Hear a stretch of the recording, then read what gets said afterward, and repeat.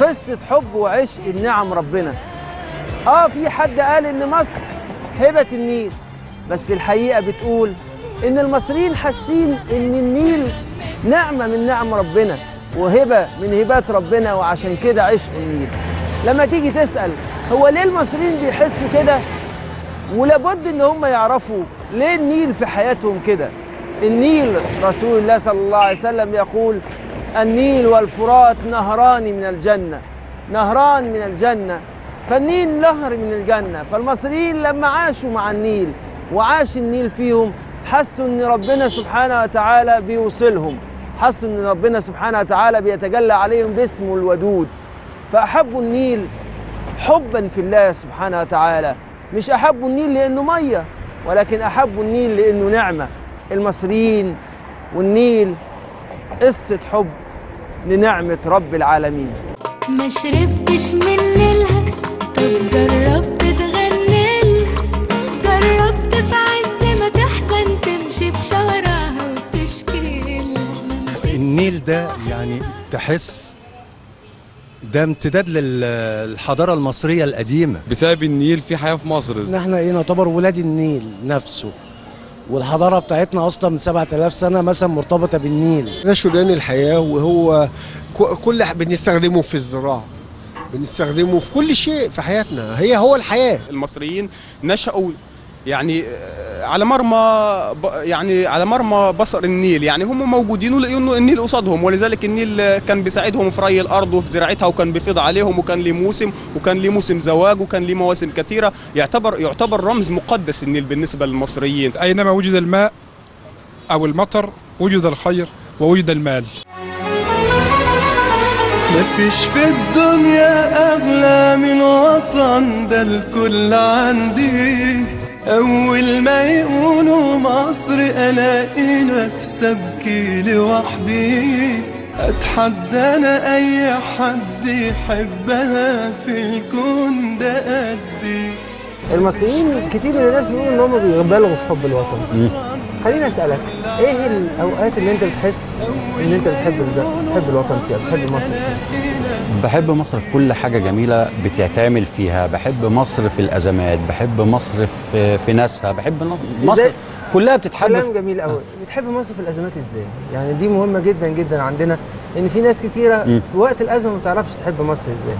إيه إنك تقف في, في, الأزمة إنك تساعد فيها ده حبك لمصر. كويس. يعني كونك تصبح جزء من حل الأزمة إنك بتحب الوطن. معناه إن أنت بتحبها. طبعا. زي في بيتك في بيتك لما بتكون بتشوف البيت بيمر بأزمة بتشتغل أكتر عشان البيت بالظبط. هو انت, حضرتك بتكره البيت أما بيكون عيل عيان؟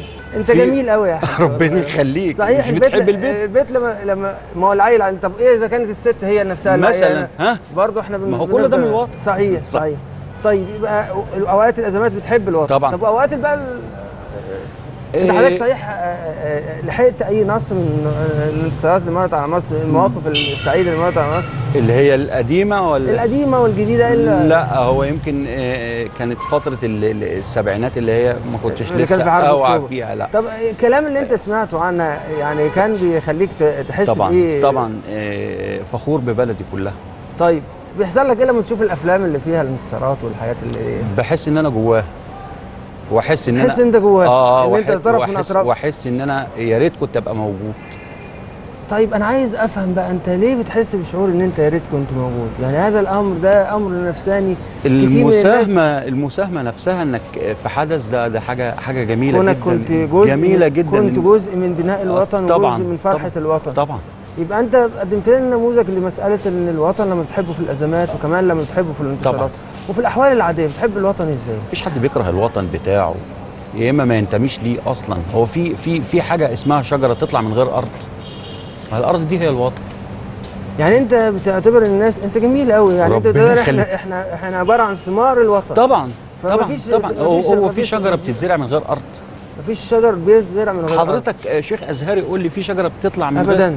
ما, و... طيب. ما- ما أعرفش ده طيب. وده مثال من أروع الأمثلة. ربنا يخليك. كنا إحنا من غرس الوطن فالوطن هو هو- هو الأرض اللي هو إحنا الأم زرعنا عليها. والوطن. هو الأم والوطن. وال- والرسول صلى الله عليه وسلم ما هو حاسس. سافرت بره؟ لا للأسف. طيب. أنت بيبقى الناس اللي بيسافروش بره بيبقى عندهم برضو إحساس بالناس اللي في الخارج لما بيرجعوا. أو هو بيكلم الناس بيكلمهم عن الوطن بطريقة مختلفة. أنت بتحس بإيه لما الواحد لما تيجي تكلم حد بيقول لك إيه عن الغربة ولما بيرجع الوطن بيقول بيقول لي هو آه، أما بي- بيشوف السلبيات ال- اللي هو شايفها هنا أما بيطلع بره بي بيقول يعني أنا عايش في السلبيات دي زي ما بنقول إيه آه، نار الوطن ولا جنة أي حتة تانية. ليه بقى بيقول كده؟ ال- ما أعرفش بس هو إحساسه كده يعني. أنت عند... أنت حاسس إن حب الوطن ده جزء من فطرتنا جزء من حياتنا؟ طبعا طبعا. لأن هو هو لما هو مش عارف السبب أكيد ده جزء حاجة حاجة في كده الفطرة. حاجة في الفطرة يعني حاجة طبعاً. في الفطرة ما بيقدرش. يتخلص منها. يبقى أنت عندك حب الوطن ده جزء من الفطرة. طبعا. لو ده- حبيت لو لو حبينا نقول لك إمتى كمان ممكن تكلم أولادك عن الوطن؟ كل وقت تعلمهم؟ كل وقت تكلمهم. كل وقت هتكلمهم مثلا تكلمهم لو هتكلمهم إزاي وهم بيتعلموا عن الوطن؟ الوطن ده ده ده آه، بيته ده وطنه آه، شارعه ده وطنه منطقته ده وطنه آه، كل كل حاجة في, في, في البلد ده وطنه اخواته وطنه كل حاجة وطنه يعني هتعلمه إن هو لو شال ورقة من الأرض طبعا وطنه بيحافظ على وطنه أي. شيء بيعمله إيجابي ده حفاظ على الوطن فانت شايف إن الوطن هو الوطن في الحقيقة السؤال اللي بيسألوه الناس ده هو الوطن إحنا بنعيش فيه ولا هو بيعيش فيه؟ هو الظاهري إحنا بنعيش فيه إنما الباطني هو اللي بيعيش فيه إزاي بقى بيعيش فينا؟ آه، يعني هو هو في برضه حد بيعيش من غير قلب؟ ما هو القلب ده هو برضه الوطن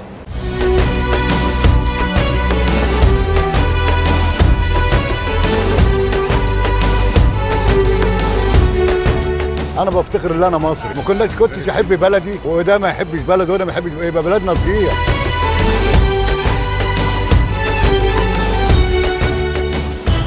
مذكوره مصر في القرآن أربع مرات. أنا ما كنتش أنا مسلم مش هحب بلدي. لو لقيت أي حاجة وحشة لمصر وقدرت إن أنا أمنحها أمنحها. طوبة فوق طوبة وابني مصر مكتوبة لابني.